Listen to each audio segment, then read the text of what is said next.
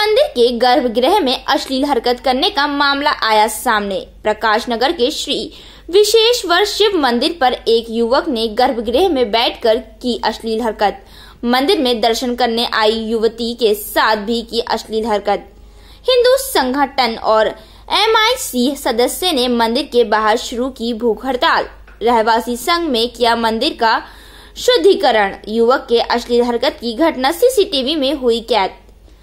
घटना स्थल पर सहयोगी तांगज पुलिस मौजूद। क्षेत्र में लगे सीसीटीवी फुटेज पुलिस घंगाल रही। युवक काफ़ी दिनों से क्षेत्र और मंदिर के आसपास घूमता देखा गया था। संजू काफ़ी है।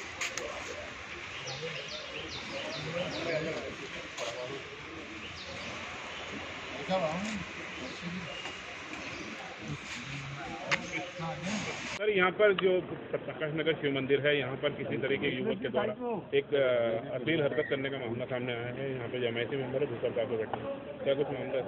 देखिए, सूचना प्राप्त होने पर पुलिस यहाँ पर पहुँची है और जो जो भगवान का मंदिर है, वहाँ पर एक युवक अज्ञात है। उसके द्वारा अश्लील हरकत की गई है, जिसके खिलाफ कुछ हमको एविडेंस मिले हैं सीसीटीवी पेज मिले हैं। उसके आधार पर हमारी टीमें उनकी तलाश पूरी ताकत लगा के कर रही हैं। जल्दी ही हम उसको पकड़ लेंगे और इसी संबंध में उसके खिलाफ जो वैधानिक कार्रवाई है वो की जा रही है। नहीं अभी जो प्रारंभिक तौर पे पता चला है कि वो पहले भी इधर देखा गया है। यहाँ आता था इधर आता जाता रहता आसपास कहीं मजदूरी का काम भी किया है उसने।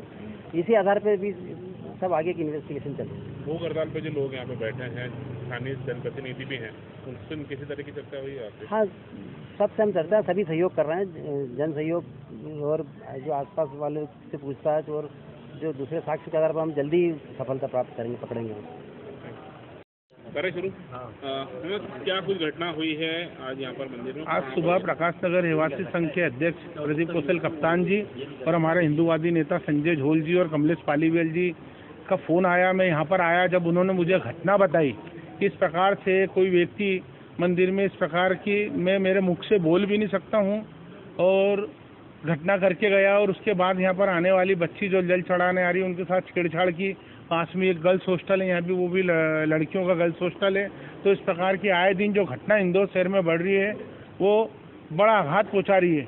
क्योंकि हमारा, हमारी आस्था जो मन में हम लोग रोज मंदिर आते हैं हमारी आस्था के साथ खिलवाड़ हो रहा है।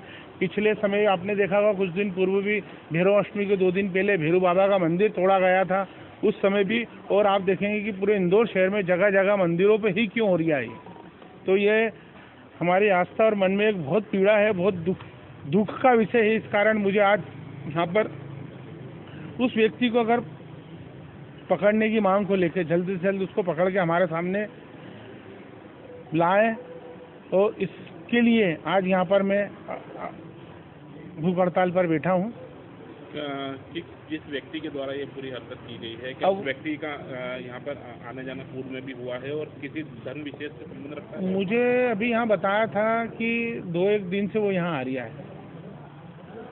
लेकिन ऐसा किसी को मन में ये नहीं था कि वो इस प्रकार की घटना करके जाएगा यहाँ।